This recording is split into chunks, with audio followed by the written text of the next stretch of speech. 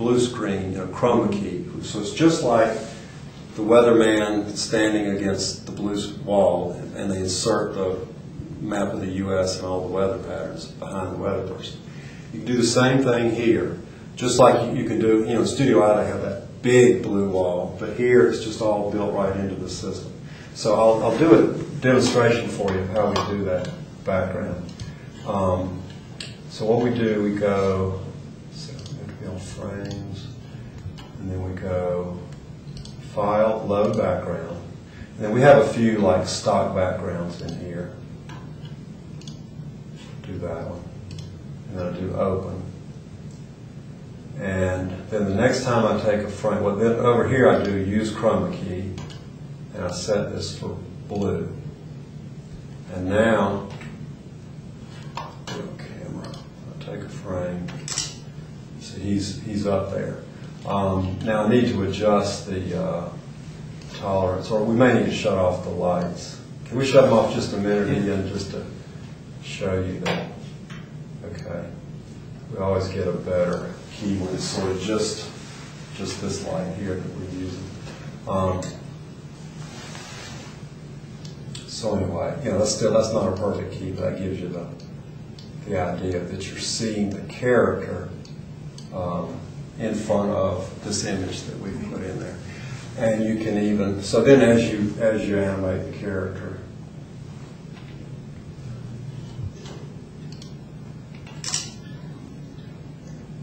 we animate it against this background. And we can take that, and I could, I could stick this background on all these other frames too. You can also change the backgrounds even, you know, as you're shooting. You can also move the backgrounds around, you know, move it left and right. You can blow it up. So this is a really powerful thing to me because you don't have to necessarily create a whole lot of sets. It's all virtual, so it fits in great with, with your name. Now people could bring, they could, they could maybe make sets at home and just take pictures of them, put the pictures on a flash drive or whatever, bring it in, and then do some animation, and add whatever backgrounds they wanted um, as well. So the backgrounds is still picture, Mhm. not like a, not something that's already moving. Right. This this wouldn't support a moving picture, although you could take the background, you can, you can make it move, you can pan hand to make it. it look right. like it's You can you can pan it using this software. Um, right. And the other thing I wanted to show you about this, you know, this, this is the sort of tabletop where you'd have a figure standing up, but then this can also be used for shooting down. And if you've seen the Studio I cameras, you know that there are a couple of those that are just sort of permanently in this down shooting position. So again, you could animate, you know, objects, whatever, on against the blue background. Uh, I'm going to do a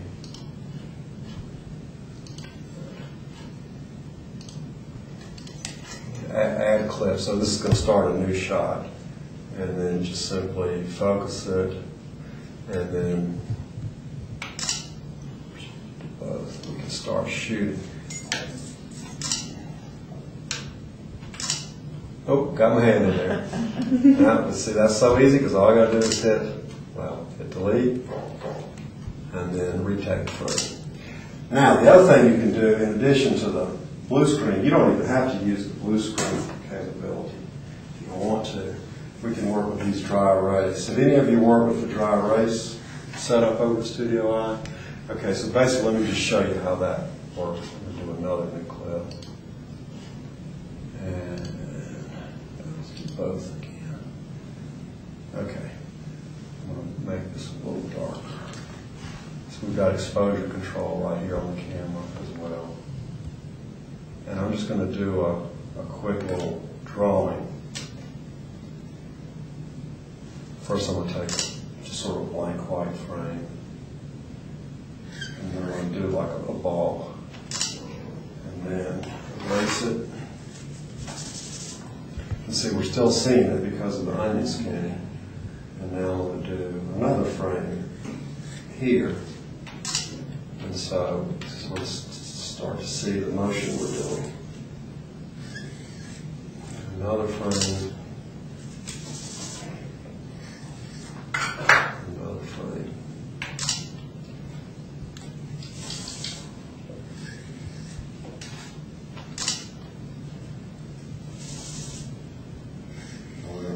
Of squashed down at the bottom. And I'm gonna take another frame like it, was a pause, and then we're gonna start animating back up and out. This isn't gonna be exactly Walt Disney here, but I'll give you the idea. And the kids really love this dry erase stuff. Um, This works really well, even with really young kids. They told me that, that they had a two-year-old in the studio out the other day who was doing this dry animation. That's about as young as you can push it. All right, and then now let's just hit the play button, and there's our little Oh, bouncing ball. um, So, you know, I've seen kids do, well, there are a couple of teenagers who were, uh, uh, sisters who were interns, did a, um, a movie that was the, um, the Iliad. It was the entire Trojan War in 10 minutes, and it was all with this dry erase thing. And they had the Trojan horse, and they had all these soldiers coming out of the horse. It was just really ambitious, and they were like won a, a- an award in a film festival with it. Um, and it was all done using this dry erase thing. Another big thing that the kids like is using this uh, little human figures that are, you know, that you get for artists. And this is real good for just sort of training you how you know, do animation, figure animation. So again, you just take a frame and then move them around. And they'll, what they'll do is they'll take the characters and they'll do little thought bubbles and have them speaking back and forth to each other, do all kind of neat stuff with adding backgrounds of the characters.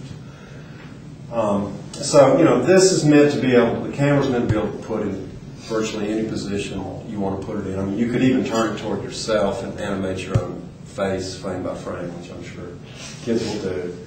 Um, the light is, that's, that's an optional thing, but it helps just give you kind of, you know, more even, uh, lighting. And you can put the backgrounds in, you know, we have three different positions kids who want to spend a little more time with their sets, they could even have a background back here, and then in this slot, put maybe some trees, and in this slot, some houses or something, so they could have a sort of a dimensional uh, background.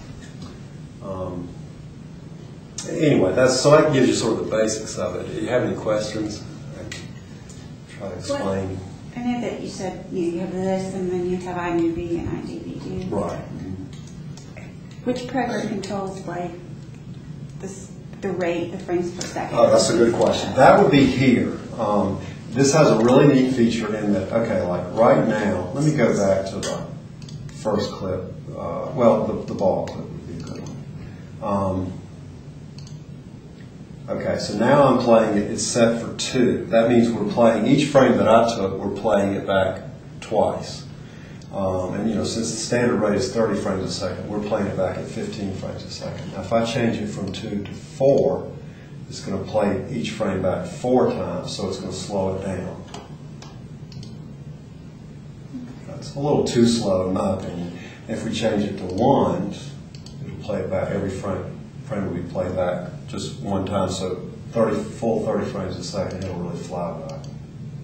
So that's a nice feature of this, you can control that. And then whatever setting you do it at, once you, you just do file share and tell it to export as an iMovie, and it'll go right to iMovie, it'll open up in iMovie, and you're ready to go.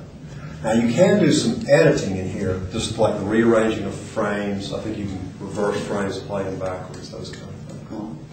Uh, you can't do any sound in this part. You do your sound in the um, iMovie. And, and there is there's a library of sound effects and a library of music's, music on here.